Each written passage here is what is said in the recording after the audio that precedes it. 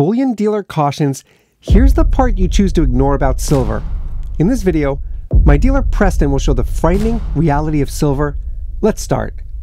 It's a critical situation when Yeah. people are not interested in, in really supporting their own Yeah. government. I Yeah. mean, uh, Yeah. that's that's when I think of treasury bonds. I think of Yeah. like my parents' generation. money goes where it's treated best, right? Mm. The nominal yield, that's the nominal, like the nominal yield is 5.25%.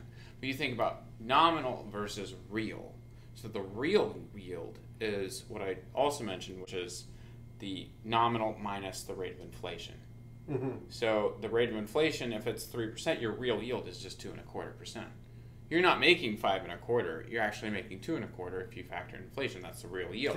and and that's not being that's not discussed because that's a bad salesman. Right, right. Investors who are savers, people who save their money, will either, if the real yield exceeds the nominal yield exceeds the rate of inflation, if, if the real yield is a good yield, they will go into treasuries. They will go into corporate bonds. They will go into the debt market. They will buy bonds, right? hmm Now, if it doesn't, they will go into gold.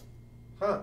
So it's all about what is what is the the nominal yield, what is the rate of inflation, and how does that translate into real yield.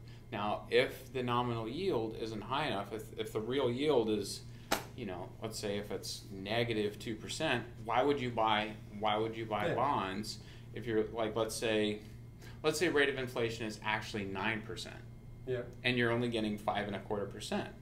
Well, why would you buy bonds? You're losing money. You're still losing, you know, four, uh, three and three and three point seven five percent. That is exactly why people are turning away from treasury bonds. It's possible. It is totally possible that our parents' generation lived through a different experience regarding treasury bonds. They still had a gold backed currency and they did not have the option to own gold for personal wealth. That was not even an option.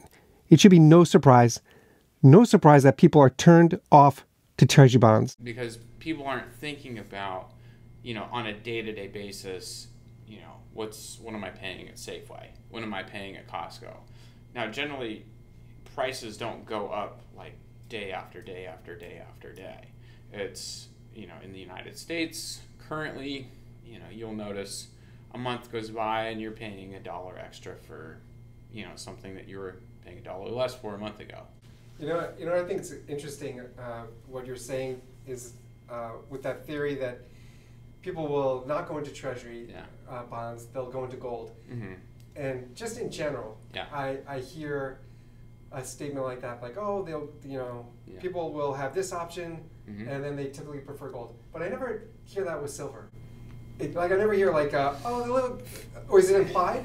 Is it implied? Like, oh, they'll either, you know, they won't, they- they'll step out of treasury or they'll pull their money out of Yeah. stocks Uh-huh. and they'll go into silver. It doesn't. That that phrase is it. Is silver the Yeah. same as gold in terms of like? Well, part uh, part of the reason is is that silver is undervalued. Silver Mhm. is is so undervalued that it it escapes the mentality of most people. Mm. When people think, "Oh, I'm going to put my my savings into precious metals," silver is so cheap that they don't even consider it. Yeah. You know, they look at gold, especially when it's going up and up and up. Like last year, gold went up 13%. Yeah. When people see gold going up like steadily, like, oh yeah, I'm going to go buy gold. Once silver starts to move incrementally up and up and up and up, is when people are going to start thinking about it more. Yeah. Yeah. But right now, I mean, it's it's been flat. I mean, it- it's been in a holding pattern between twenty two and twenty five dollars an ounce for twelve to eighteen months.